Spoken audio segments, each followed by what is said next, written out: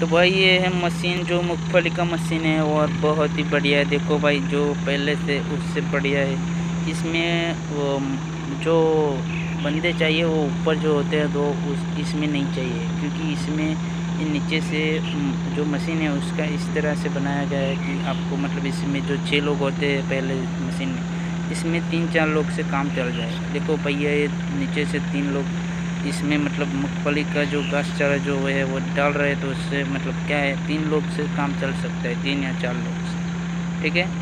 और ये मशीन बहुत ही बढ़िया है, और मूँगफली के लिए तो बहुत ही बढ़िया मतलब मूँगफली के लिए जो बनाया गया है, वो मशीन बहुत ही टेक्निकल सिस्टम से बनाया गया है। ये देखो, पीछे से कुछ इस तरह का दिख, दिखता है।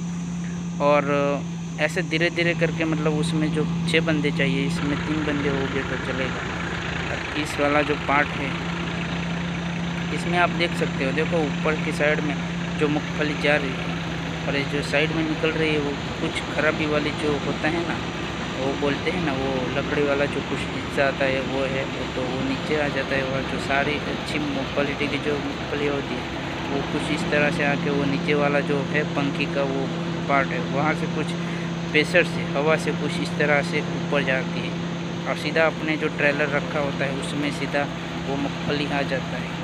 इसमें भी जो दो बंदे चाहिए, वो वो भी बचत हो गई। मतलब एक बंदा तो चाहिए, दो नहीं तो एक तो चाहिए।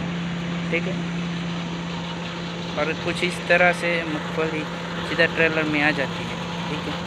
तो इसमें हमें दो वहाँ पे और दो, एक यहाँ पे। मतलब तीन बंदे की ज़रूरत कम होगी। मतलब ज़्यादा टाइम नहीं लगेगा और ज़्यादा बंदे नहीं चाहिए। मतलब छोटे मतलब कुछ मजदूर नहीं होगी तो भी चलेगा।